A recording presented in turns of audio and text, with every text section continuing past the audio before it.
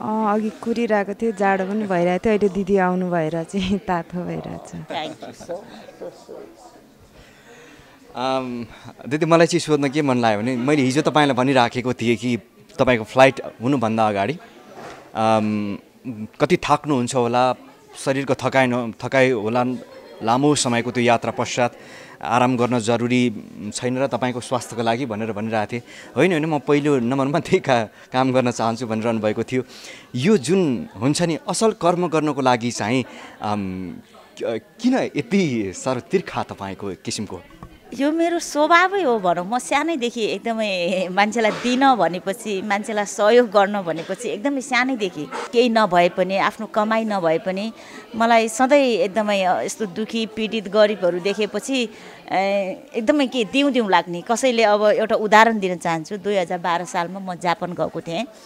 मैले एउटा branded bag भिरेर गएको थिएँ अनि जापानिज साथीहरूले मलाई एउटा पार्टी राखेको थियो र त्यो पार्टीमा एकजना जापानिज साथीले केटी साथीले भन्यो तिम्रो ब्याग कस्तो मन पर्यो मलाई? भन्यो कि।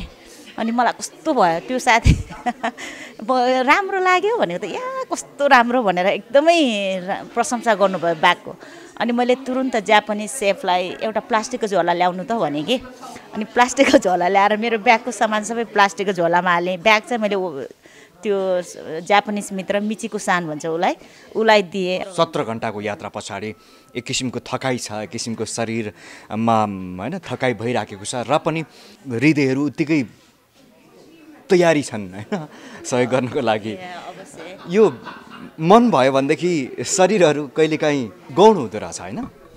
त्यस्तै भनौँ अब कसैको दुःखमा पीडामा आफूले सकेको अनि अरू सहयोगी मनहरूबाट जुटेको सानोतिनो सहयोग गर्न पायो भने मनलाई आनन्द मिल्छ। यही छ मेरो सोच। ओके अहिले हामी यो रकम हस्तान्तरण गर्नु पूर्व को को व्यक्तिहरूसँगको सहकार्यमा यो जम्मा भएको छ? यो उहाँहरूको नामावली हजुरले।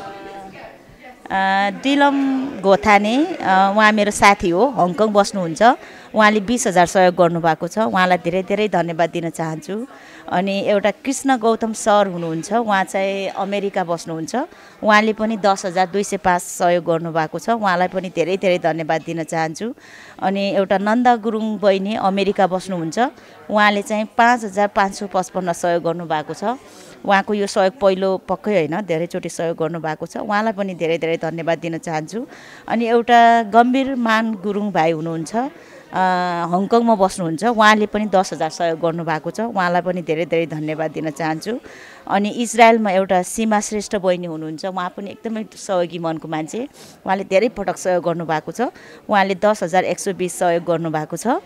अनि न्युयोर्कमा मन्जु गुरुङ भन्ने मेरो एउटा साथी हुनुहुन्छ। उहाँ पनि एकदमै सहयोगी मन भावना भएको। हरेक अभियानमा उहाँले पनि सहयोग गर्नुहुन्छ।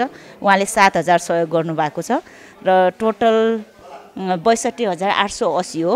तर त्यसमा अलिकति थपेर पैँसठी हजार आज बहिनीलाई हस्तान्तरण गर्न चाहन्छु। हामी यति बेला बहिनी शान्तिलाई दिदीको हातबाट यो हस्तान्तरण गर्छौँ हामी।